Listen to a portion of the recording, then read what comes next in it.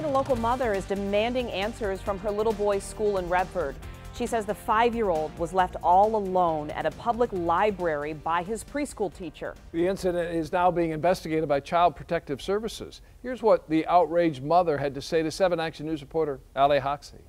It's already hard enough as a mother, as a working mom, to trust people to take care of your kid when you're at work. Carla Butler says on Monday, Rainbow Village Daycare notified her and her husband that her son, five year old Vernon, was left at the public library located next to the preschool alone.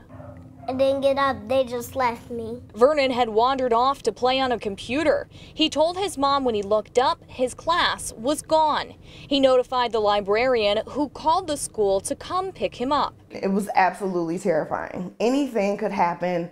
I mean, if you leave a child anywhere, anything could happen, but in a public place, no one needs an ID or a child or anything to get into the library. She says she's getting very little feedback on what happened from Rainbow Village Preschool. It was kind of just like, well, I'm sorry, but there's nothing I can really do about it. The school sent us a statement, and it says they visited the library, which is approximately 100 feet away from where they are located. It states after returning from our field trip and getting the children settled with bathroom facilities and the like, the library contacted us before we had the opportunity to walk back and pick up the youngster.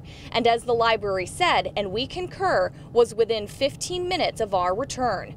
As for Vernon, he will no longer be going to Rainbow Village Preschool. I'm gonna go to summer camp in the summer. I'm gonna swim. I did speak with the director of the preschool. She did apologize for what happened and tells me they're working with Child Protective Services as they start an investigation into how this happened.